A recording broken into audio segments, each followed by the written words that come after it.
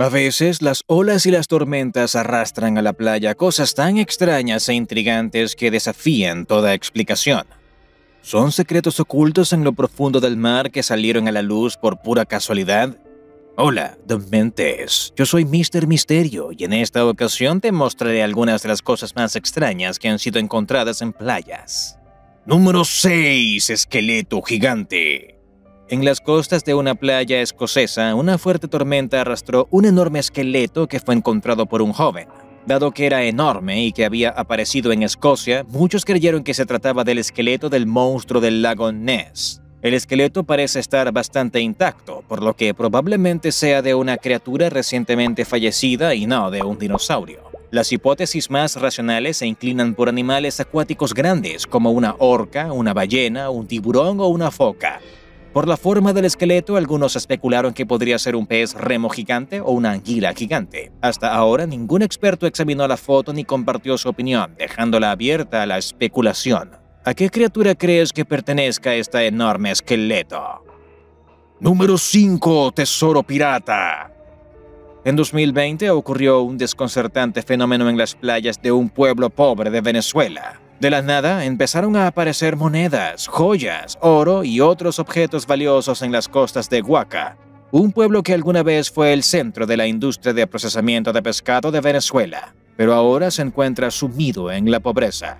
El pescador Joel Manglares fue el primero en encontrar algo inusual, un medallón de oro con una imagen de la Virgen María. Pronto, muchos de los 2.000 residentes del pueblo fueron a probar suerte a la playa y al parecer encontraron cientos de piezas de joyería de oro y plata, adornos y pepitas de oro que la mayoría han vendido, incluso por cifras como 1.500 dólares. Nadie sabe de dónde salió el oro y cómo acabó esparcido a lo largo de unos cientos de metros de la estrecha y ordinaria playa de Huaca.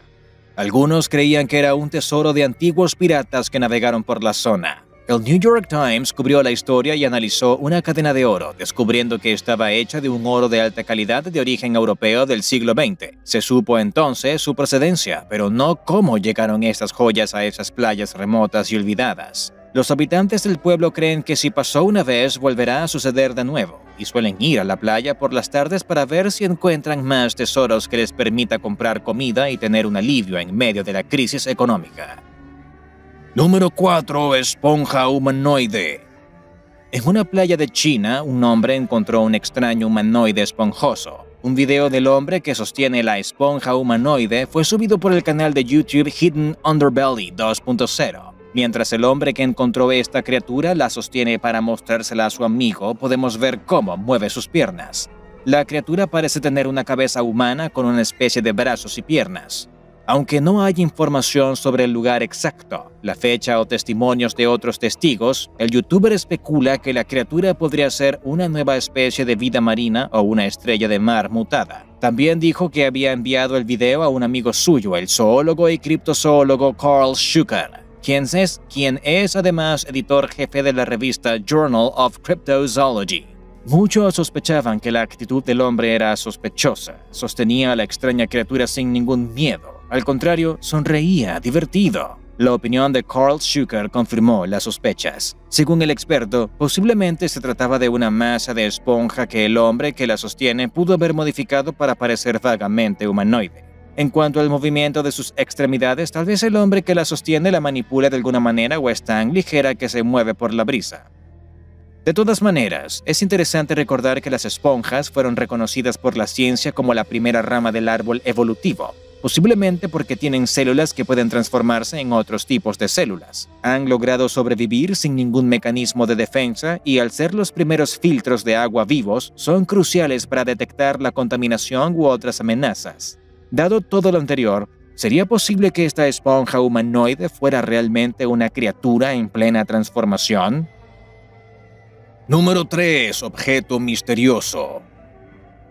En 2018, un objeto grande y extraño apareció en una playa de Carolina del Sur. Parecía de hormigón, pero se sentía como espuma. Se tomaron algunas fotografías, pero antes de que nadie pudiera realizar una inspección detallada, el objeto fue retirado rápidamente por los funcionarios locales. Cuatro días después, las especulaciones sobre lo que era corrieron como la pólvora, mientras que nunca se realizó un anuncio oficial por parte de las autoridades. La red de mamíferos marinos del Low Country, una organización sin ánimo de lucro, fue la primera en ser notificada. Tras determinar que no era un mamífero marino, la organización publicó una foto en su página de Facebook y pidió ayuda para identificar al objeto. Otra organización similar, ubicada en una isla cercana, también publicó la imagen del extraño objeto. Un periódico local también publicó la noticia, pero nadie sabía qué podía ser ni se ofreció explicación alguna. Sin embargo, alguien se dio cuenta de las publicaciones. El objeto desapareció casi tan rápido como llegó.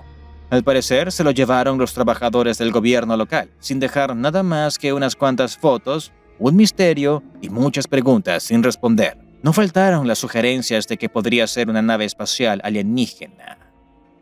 También hubo quienes sugirieron que se trataba de una pieza de blindaje o aislamiento de un cohete. Otros consideraron que formaba parte de un objeto marino, como una boya, una plataforma petrolífera o un flotador de oleoducto. Pero si se trataba de un objeto común, ¿por qué fue removido de la playa tan rápidamente? Además, ¿por qué nunca hubo ningún anuncio por parte de ningún funcionario gubernamental, militar, marino o de otro tipo? ¿Mm? Número 2. Criatura extraña. Erika Constantine, una mujer que paseaba a su perro por una playa de Carolina del Sur, tropezó con los restos de una criatura que desafiaba su conocimiento de los animales conocidos y su imaginación. La criatura no tenía ojos, pero sí tenía unos inquietantes dientes. De inmediato, Erika grabó un video del extraño esqueleto. Sinceramente, no sabía lo que era, Tenía el tamaño de un perro pequeño, pero la estructura del conjunto sugiere que definitivamente no es un perro, explicaba Erika. Dado que los restos tenían un avanzado estado de descomposición y había una pérdida parcial de los huesos, es difícil decir con certeza qué es esta criatura. En los comentarios del video se escribieron varias hipótesis, zarigüeya, gato montés, foca y hasta chupacabras. Sin embargo, hay otra teoría mucho más interesante. Cerca de esa playa se encuentra una isla llamada Morgan Island, pero conocida como la Isla de los Monos, en donde solo habitan monos con los que el Instituto Nacional de Alergias y Enfermedades Infecciosas hizo experimentos. Desde la década de 1970 el gobierno federal prohibió los visitantes, así que nadie sabe en qué pudieron haberse convertido esos pobres monos con los que experimentaron. Tal vez los restos de la playa pertenecían a una de las criaturas mutantes que habitan la misteriosa isla. Número 1. Carta del pasado. Una familia encontró en una playa canadiense una misteriosa botella enterrada en la arena.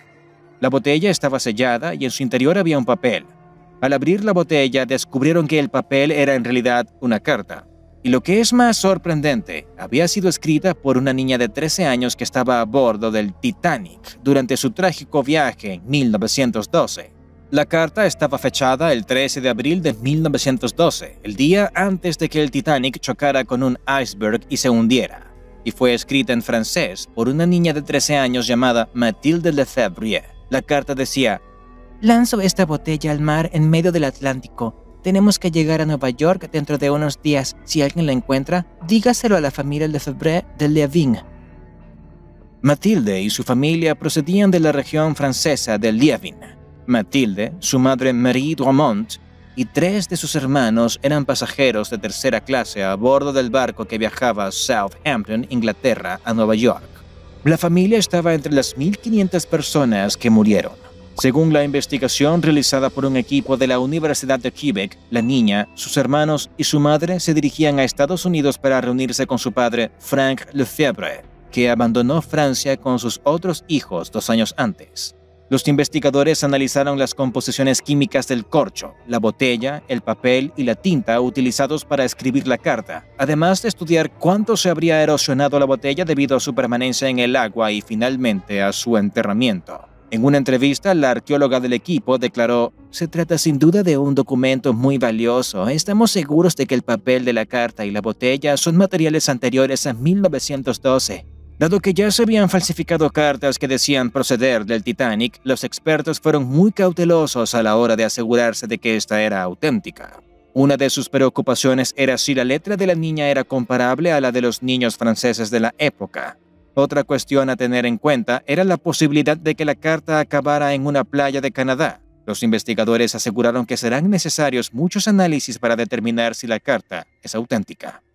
Cuéntanos en la sección de comentarios si alguna vez descubriste algo misterioso en una playa. Si te gustó este video, suscríbete y activa las notificaciones para que no te pierdas ninguno de nuestros contenidos. También puedes seguirnos en nuestras redes sociales. Esto es Dementes. Te esperamos en otro misterioso video. Hasta la próxima.